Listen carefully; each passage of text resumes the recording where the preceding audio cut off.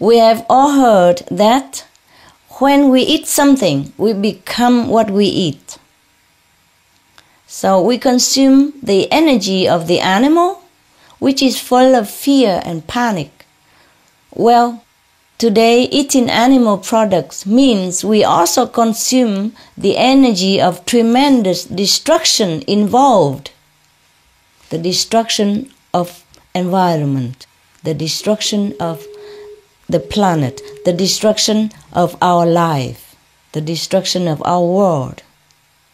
From all that we just talked about climate change, disasters, disease, deforestation, biodiversity loss, water scarcity, food shortages, refugees, climate refugees, even, etc., etc. Now, imagine yourself starting today saying no I don't want to be part of all that destructive pattern.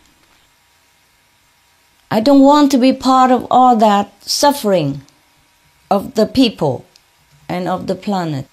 I don't want to be the hand that suffers as the body suffers. Instead, each of us can choose to be the hand that will heal the body each of us can restore the planet, bless it, and bless all of us starting today by simply being organic vegan.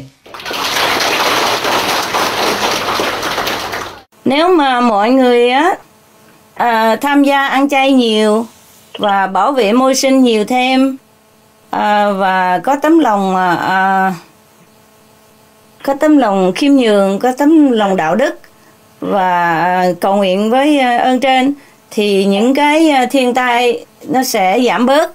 À giảm bớt được bao nhiêu, đó là tùy theo cái nghiệp quả của nhân loại.